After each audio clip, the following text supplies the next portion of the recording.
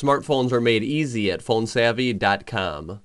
To disable mobile data on your Galaxy S4, from your home screen, select the hidden menu button in the bottom left corner of your device, and this will bring up a list of options. Go ahead and choose Settings, and make sure your Connections tab is selected in the top left corner, and then select Mobile Networks.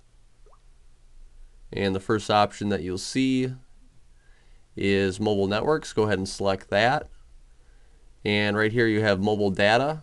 It is enabled by default. Go ahead and uncheck this box and then hit OK. It'll let you know that you can only use web-based applications on your device now if you're connected to a Wi-Fi network.